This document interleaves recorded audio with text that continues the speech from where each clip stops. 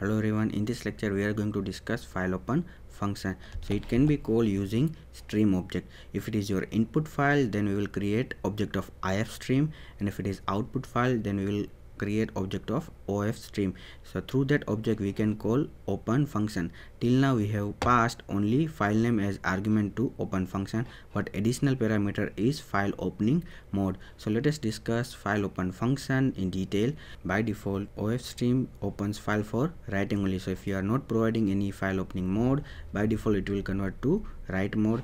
Same way ifstream opens file for reading only. So if you are not providing file opening mode ifstream open file for read mode. So there are three ways to create or open any file very first method that is constructor i am creating object of ofstream send and as an argument i'm passing file name. So it will call parameterized constructor of class ofstream and open abc.txt file. Second methodology is using open function. We are creating one object and through that object i am calling member function open by passing file name as argument. And a third method is using open function with file opening mode. So we are calling open function using the object. We are passing file name as well as file opening mode as an argument. So let us discuss various file opening mode for open function. So very first opening mode is IOS scope resolution operator in that will open file for reading only. Next mode that is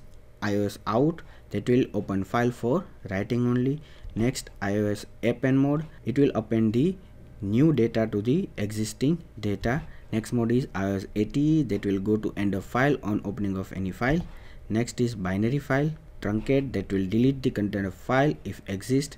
Then no create and no replace. No create will be used when open fails if the file does not exist and no replace will used to open files if the file already exists. So these are the file opening modes but more generally we will be using in out and append mode. So let us discuss few of the file opening mode using example. So in a program i'm going to use classes of fstream that's why i'm including fstream at the beginning of program. Next i'm creating object my file that is of class ofstream now using that object i am opening file in writing mode. So this statement create a file example.txt that will be created for writing. Next i am inserting a message using my file insertion operator. This is india. So this statement will move this india message from program to example.txt same in another example i am creating one character array line of size 50 one object r file of class ifstream next r file dot open. I am opening that file in reading mode. So here i am having example.txt with existing data. This is india. And we want to read this as input and take it to the program. So r file dot get line will get data from particular file to the variable line over here. Now instead of this we can write r file accession operator and variable name. This statement is also valid. So i'm displaying that inputted line using cout and closing particular file. So this is the way we can pass file opening mode as second argument to open function. Now here is the practice program. Write a program that open two text file for reading data. It creates a third file that contains the text of first file and then second file.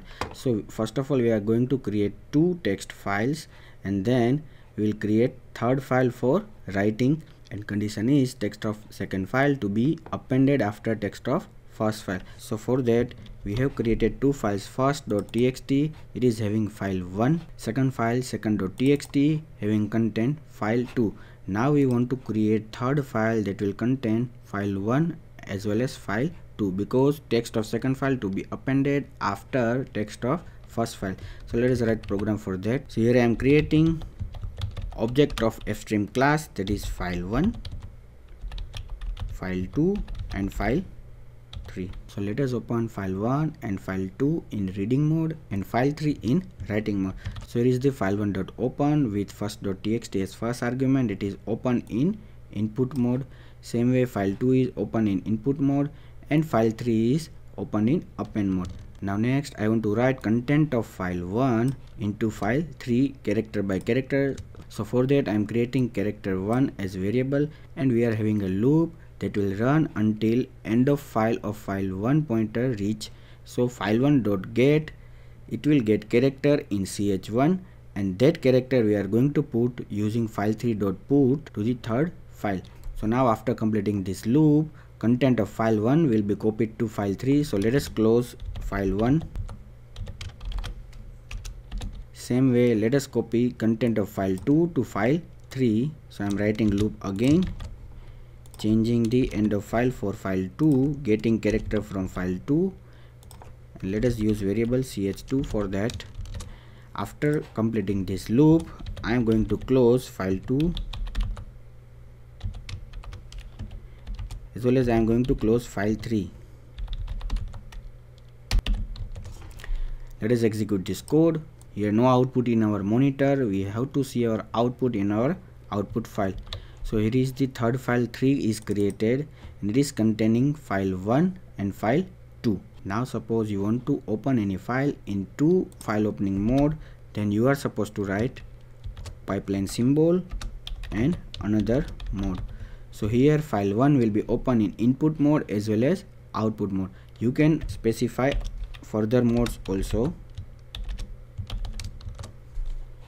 so you can provide more than one file opening mode in open function by separating each mode using pipeline symbol so this is also valid next let us discuss file pointers each file has two associated pointers known as file pointers. One of them is input pointer and it is also called get pointer and second is output pointer. It is also known as put pointer. So input pointer is used for reading the content of a given file location and output pointer is used to writing a given file location. We are having several file manipulator functions. Through that we can write input any position of file and we can get content from any position of file. So first function is seek g. That will move get pointer to specified location. Next is seek p. That is put pointer. Moves put pointer to specified location. So we can write particular output at particular location. Same way we can get input from particular location. Next function is tell g. It gives current location or position of get pointer. Same way tell p will gives current position of put pointer. So here i am having two objects. One is receive that is of ifstream class. Another is send is of ostream class. So if i write receive dot seek g it will move get pointer to 30th position or 30th byte. Same way send dot seek p it will move put pointer to byte number 30 in particular file. Same way tellg will give us a particular position of get pointer and tellp will give us a position of put pointer. Another syntax for seekg and seekp is you are supposed to provide offset and direction. So there are several offset. Very first is ios begin. This offset counted from the beginning of the stream or beginning of the file. Same way ios current this offset counted from the current position of the stream pointer. Next is ios end and it will be counted from the end of stream. Next let us discuss write and read functions that will be used to write or read content of object of a class. So functions write and read different from the functions put and get.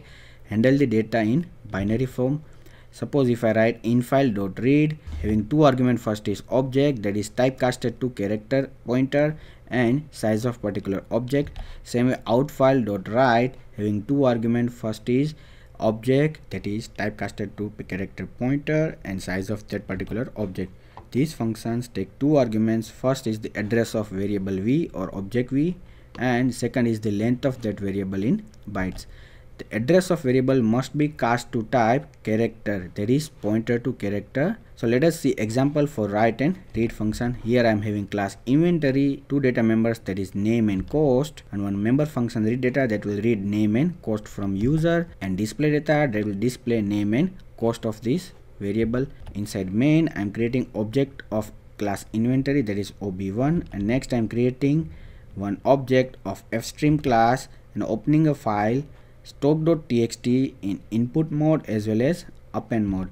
So if i call ob1.read data it will get name and cost from user and i'm going to write ob1 in particular file. So i'm calling file.write and providing address of object 1 that is typecasted to character pointer and size of object 1 next using seekg moving to the zeroth position and reading the same object to the file and through ob1 i am calling ob1.display data. So we will be having data stored in stock.txt and lastly i am closing the file. So this is the way to use write and read function for any variable or object. Thank you